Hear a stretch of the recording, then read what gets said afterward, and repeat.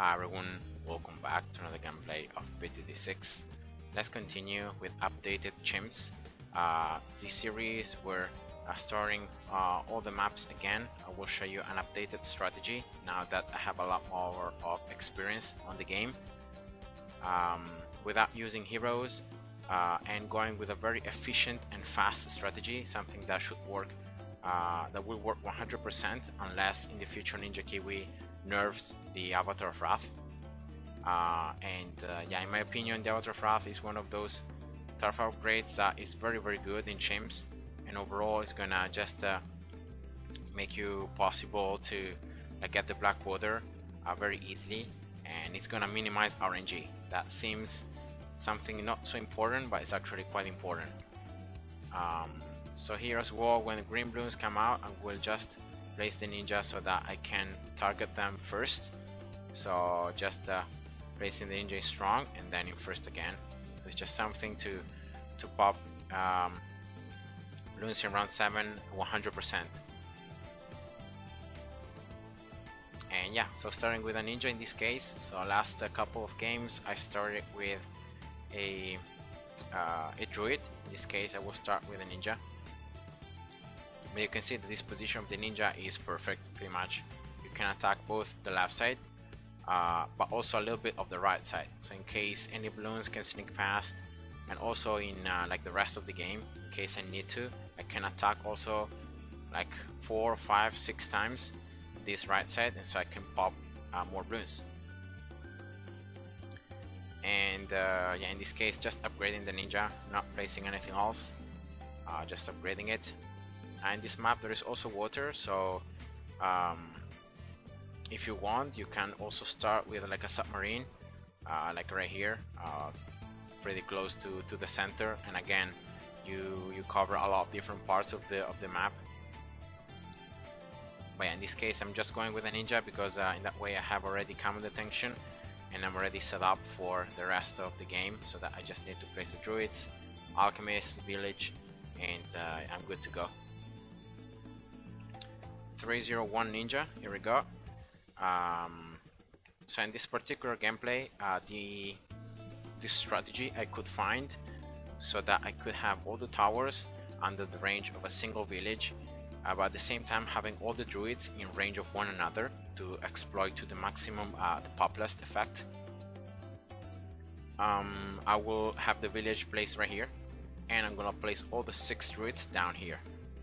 Uh, so the Avatar of Wrath druid is actually this one right here. So the one that I will place closest to the top left side, so pretty much in the corner. Uh, and then behind it very very close to it so as close as you can uh, getting a, an alchemist. Here we go.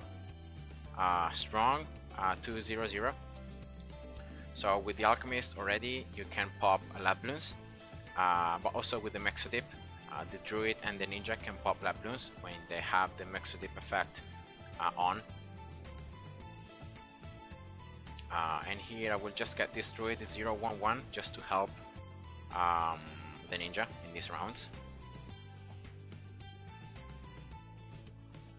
And uh, yeah that's it. So right now I will just wait to, to have enough cash to get the ninja 401 and uh, then then slowly uh, most likely I will just place some more druids uh, just to place them. And I'm gonna also uh, give you some tips how you can place the druids so that these alchemists will always prioritize. It's very important uh, so that you don't need to place more alchemists to to have already the the druid. In this case I will want to be buffed. That is this one because it's gonna be the Avatar of Wrath. Um, I want the alchemist to prioritize this druid and I can do so uh, very simply without the need of placing more uh, alchemists just by placing this alchemist super super close to it. And then uh, as I place all the other druids around I just need to respect the distance and not I don't place uh, any druid closer to the alchemist than the one I want to buff so that's a little trick that you can do so in that way you can still place the other druids quite close so you don't need to place them like super far away like like this. You can place them even close, but the important thing is that they're not too close. Uh, okay, so Alchemist 300, uh, Druid now 013. And now, as I said, I will start placing these other druids. Let me just check out here the village. I can place it correctly, yes. So it's down here. Uh, actually here, what I'm going to do is I will place the village first. And then 1-0. So that I I know 100% if these druids will be in range or not of the village. I don't want to really mess it up. I don't want to place any druid uh, out of range of the village. So just a 0 1 1 druid. Here we go.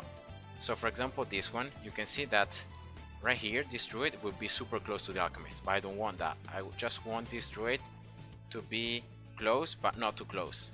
So for example, this position is already enough. It's close to the alchemist, but it's not as close as this one. So in this way, the alchemist is still prioritizing the druid that I wanna uh, be buffed. And the same goes with this one. So this one right here is super close, and so I will just place it slightly further away.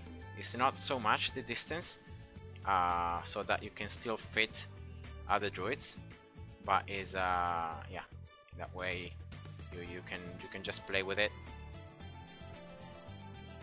Right, so that's another Druid uh, 0, 1, 1.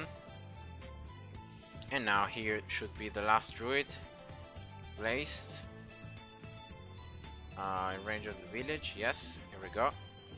Alright, so it's a little bit uh, difficult to place like all of them range of the village, but uh, yeah, you can see that 6 total, so that's perfect. Alchemist 400 right off, why not? And now we'll just get all of these druids 0, 1, 3 and then preparing to get them uh, 0, 1, 4 uh, so you can see that all these druids are placed exactly like the ninja. I like this position because it's gonna allow me to uh, to have these druids attack both the left side right here and also the right side. So in case any balloons can sneak past or something like that I can always have the druids uh, attacking them. And especially the ones closer to the right side may not attack a lot in the left side but they can attack more in the right side. Uh, village 200 and yeah that's pretty much it. So um, you just need to play a little bit with the druid's placement because in this case you need to place 6 um, to stack the Poplust effect to maximum. Uh, but yeah definitely affordable if you can just place the village and you can see the beforehand uh, so having already the village with more range so that you don't mess up the druid's placement. You have all of them under the village um, alright so here these top two druids so this one and this one are the ones being buffed right now by the alchemist for 0 0 uh, so are the ones that I will uh, upgrade first uh, 014 now uh, village 220 very important camo detection for round 51 and now uh, as I always do I will just slowly get all the druids 014 stacking the Poplust stacking the, the attack speed. Stacking it five times on it, every single druid. You can see that every druid is in range of the other ones.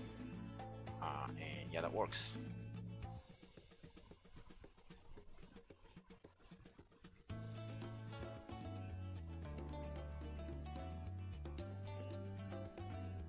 Alright, So that's pretty much it for these first uh, 60 rounds. Then for round 63, 76, 78 and in general to help the druids clean up the balloons, uh, the ceramics and so on. I will get as usual a, a 402 boomerang and also especially for lab balloons. Uh, I will get a boomerang up here.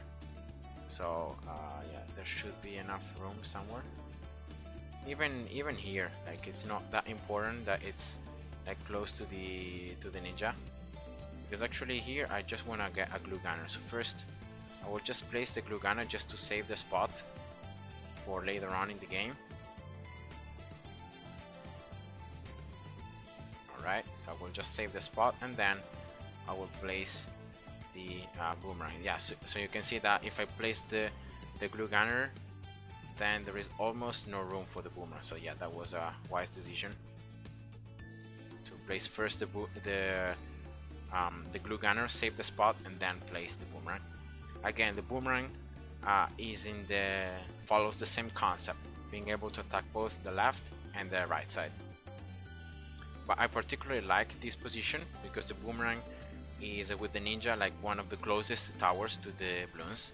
So it will pop that balloons almost right off so that I can exploit the druid's damage as well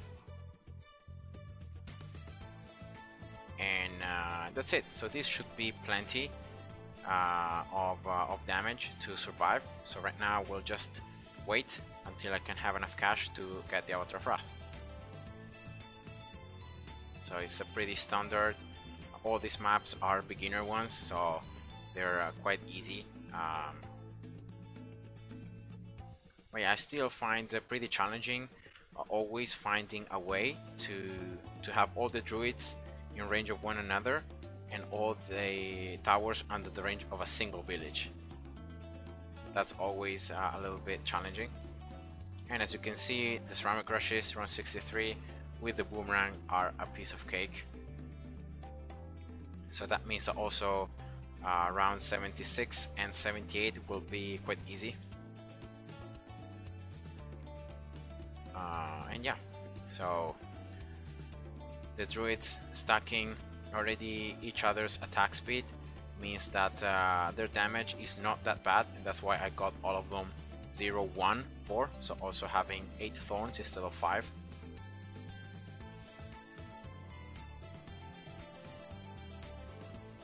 Uh, so this is the strategy that I was talking about earlier at the very beginning of the video. Is the strategy that in my opinion is like is the fastest and the most reliable one uh, so you will not really uh, it will not depend on RNG or it's gonna depend on RNG minimally.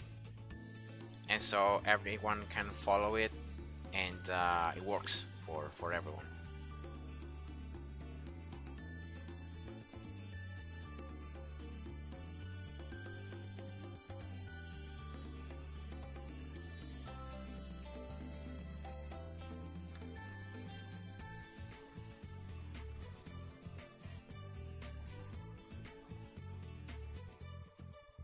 yeah so right here. It's just waiting really. Waiting to uh, to pop the balloons get through the rounds. I don't fear any particular round. I'm just curious to see as always round 75 with uh, um, the double BFBs uh, let's see how it goes. Yeah, you can see down here in the left side you can see like the boomerang uh, bouncing between like the balloons and see how much damage the boomerang is actually doing just the boomerang and the ninja just melting all these uh, rainbows.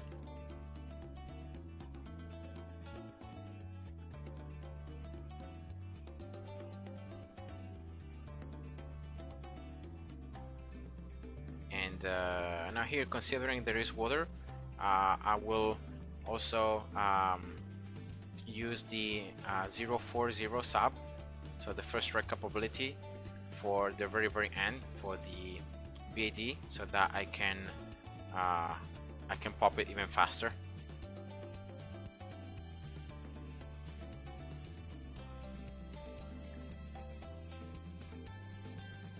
Alright, so you can see that there are no problems, like other than in round 63, no balloons are actually able to even sneak through the left to the central portion of the map. I just uh, destroyed them all before. Yeah, I, I just want to see round 75. Probably in that round some balloons are gonna be able to push through and I will destroy them in the right side of the map. Yeah, just uh, 20k more to have the Avatar of Wrath.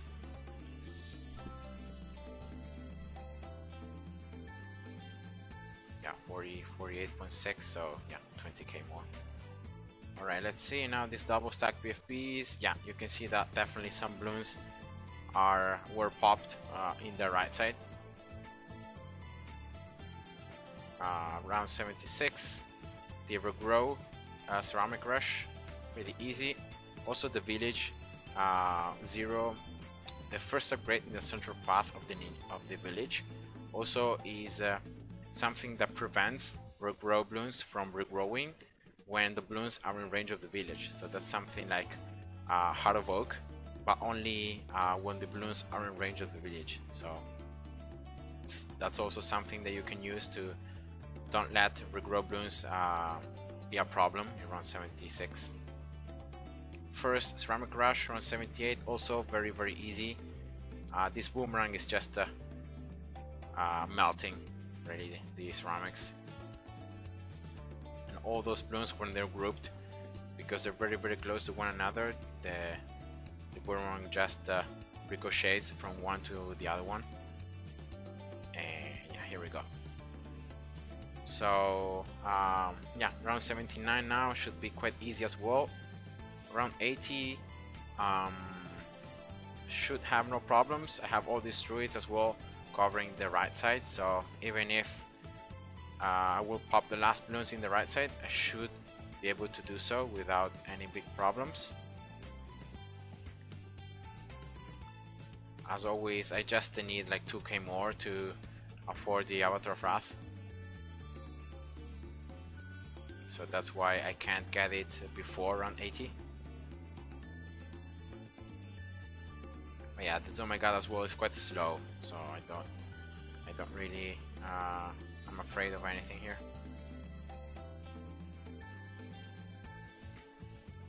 Yeah the druids stacking attack speed as they are popping the balloons. and uh, yeah here we go. So as I said a lot of balloons stacked up here but then the boomerang with all the attack speed from the druids just was enough to destroy them all and here as always getting the Avatar of Wrath in round 81 let's just get Oak just in case. Why not? Uh, Alchemist 402 and uh, I have already placed the boom the glue gunner so let's just get it 0 to 3 it's strong. So let's add something like a CC to start slowing down MOABs to start giving more time for my my towers to to to pop all the other bloons and yeah this glue gunner yeah, sometimes it's gonna even glue the bloons and it's gonna slow them down before they're even in range of the Avatar Wrath, especially like ceramics. Uh, but yeah, I don't think that is gonna just change a lot.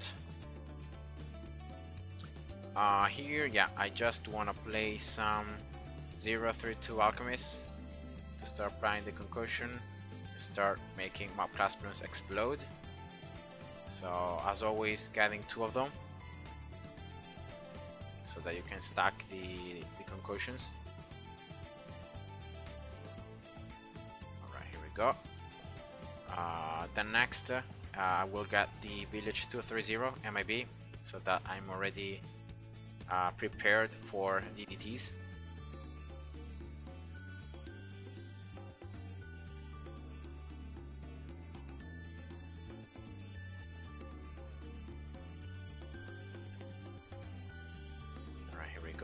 Very very nice. The Alchemist just uh, applying the concussion to pretty much all MOAB class bloons before they are even attacked.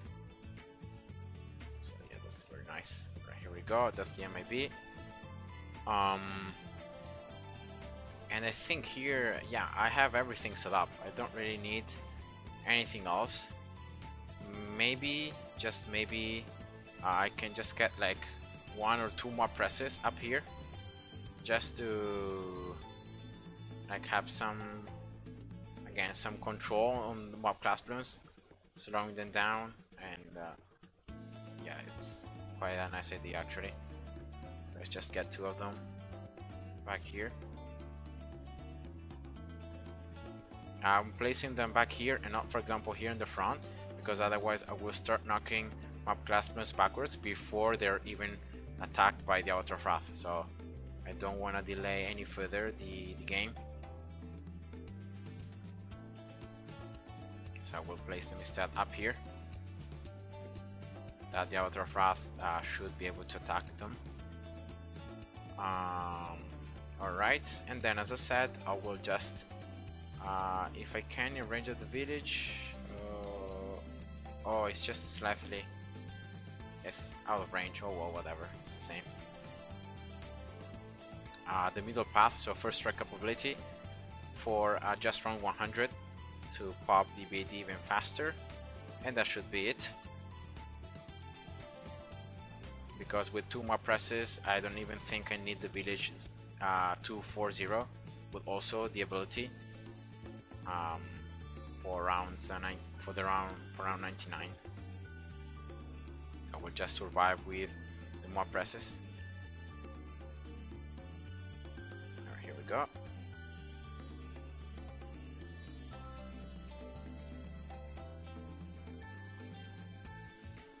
let's ch checking out here this alchemist that's always the first one that I place does not have a lot of pops.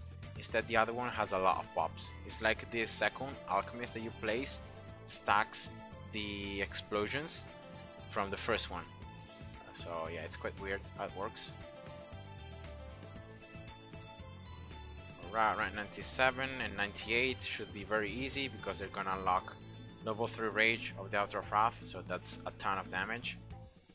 Instead, as always, it's quite uh, scary around 99 with the 45 DDTs. But I think right here I should be fine. These two MOAB presses up here. I don't think you can MOAB press, you can knock back uh, DDTs, I'm pretty sure, but that anyway that's an extra uh, damage on them as well, so uh, yeah, no, not a lot of problems, here we go. And now finally DDT, uh, BAD. So here I will just wait until the last layer is out, then I'm gonna wait a little bit and then I will use the, the ability. Okay, here we go.